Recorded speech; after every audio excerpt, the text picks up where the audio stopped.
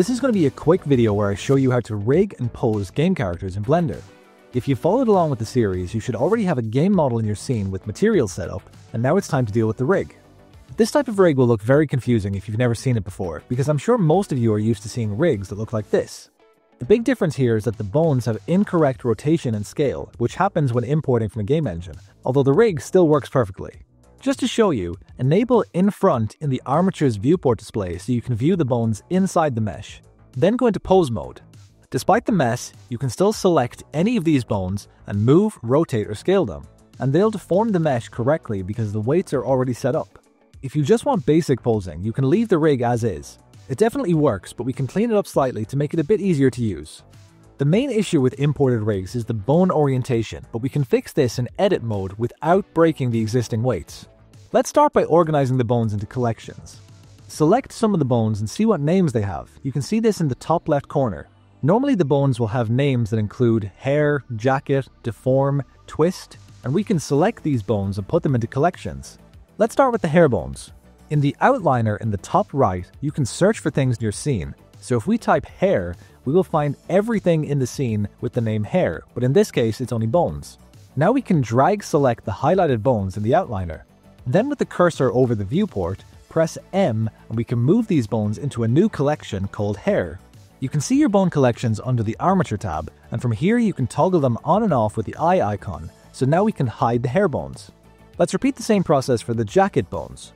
In the outliner, search for jacket, select all of the highlighted bones by drag selecting them, then move them into a new collection called Jacket. The jacket also has some other bones like string, collar, and hood, so we can add all of these to the jacket collection. If we look at the elbow, you'll see three bones.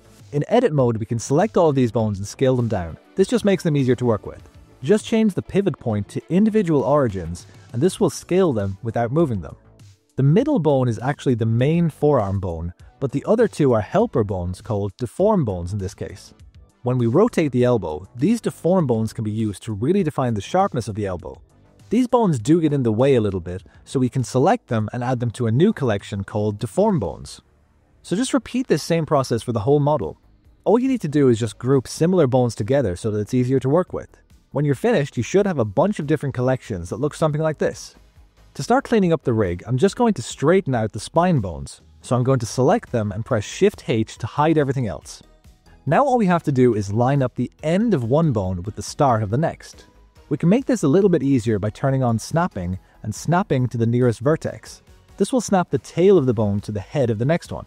You can press Shift Tab to toggle snapping because for some bones you won't want the snapping to be turned on. Now we can select the leg bones and line these up as well. Make sure that the X-axis mirror is enabled and this will do both legs at once. With snapping turned on, just move the tail of one bone to match with the head of the next and they'll snap together. Now again, just repeat this same lining up process for the rest of the bones. Make sure to just scale down the bones if you need to. The face bones are quite big, so scaling them down can make it a lot easier to see. For some of them, you can just use your own judgment and figure out if the bone works better in a certain direction, but it's all down to personal preference. When you're finished, you should have a rig that looks something like this, and it should be a lot easier to work with.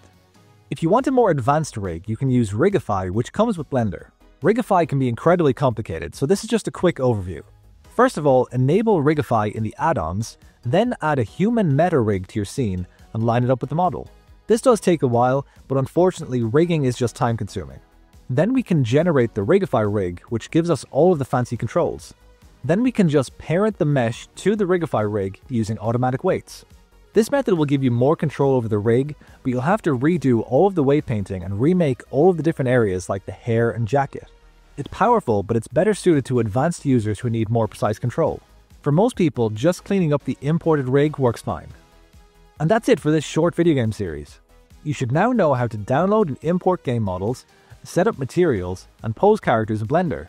I use game models like this to test materials and lighting setups, and as I mentioned at the beginning of the series, they're an amazing learning tool for studying how professional assets are made. Anyway, thanks for watching, and I'll see you in the next video.